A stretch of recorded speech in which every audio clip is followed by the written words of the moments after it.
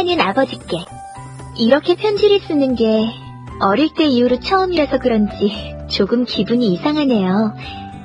이런 편지도 사랑한다는 말도 좀 더 많이 했어야 했는데 벌써 가족의 품에서 독립할 나이가 되었군요. 지난 8년은 이제 아름다운 추억이 되었어요. 학원에서 한 공부도 여기저기에서 한 아르바이트도 힘들었지만 이제는 추억이라고 부를 수 있게 된 것을 보면 이제는 돌아가고 싶어도 돌아갈 수 없는 시간이 되어버렸기 때문이겠죠. 하지만 이제는 함께한 시간을 밑거름 삼아 앞으로 나아갈 때 미래에 대한 두려움이 없다면 그건 거짓말일 거예요. 저는 어떤 일을 하게 될까요? 어떤 사람을 만나게 될까요? 모든 것이 안개 속에 숨어 있는 것 같아서 두렵기만 해요. 물론 언제나 저를 걱정하고 계신 것은 알아요. 그만큼 저를 사랑하고 계신다는 거죠. 제가 할 수 있는 가장 큰 효도는 저를 진정으로 사랑해줄 사람을 만나 행복하게 살아가는 것이겠죠. 꼭 좋은 사람 만나서 행복하게 살게요. 제 앞날 축복해주세요. 주인님, 성에서 마차가 왔습니다. 아가씨를 맞이하러 왔다고 하던데요? 나를 성으로?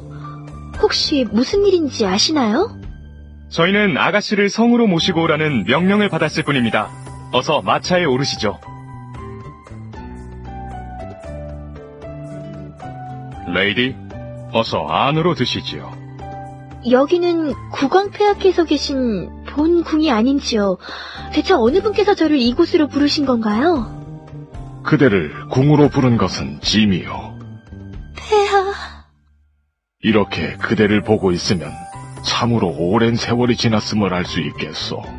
처음 만났을 때는 어린아이였건만 지금은 엠브리오 최고의 미인으로 성장했으니 말이오. 폐하께서는 여전히 예전의 모습을 간직하고 계십니다. 그대도 알다시피 이 나라는 짐과 왕비 이 두 사람이 함께 다스렸다 해도 과언이 아니오.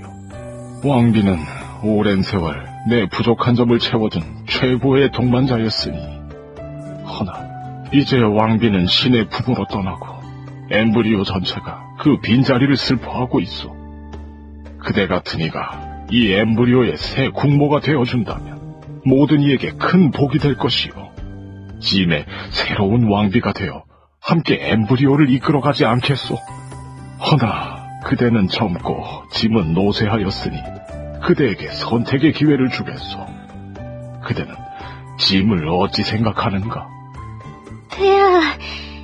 저는 폐하께서 바라신다면 기꺼이 폐하의 옆자리를 받아들일 준비가 되어 있습니다. 설마 지금 짐을 선택하겠다는 말인가? 오랜 세월을 이겨낸 폐하의 중후함이 제 마음을 흔들어 놨습니다. 이제는 제가 폐하의 곁을 지키고 싶습니다.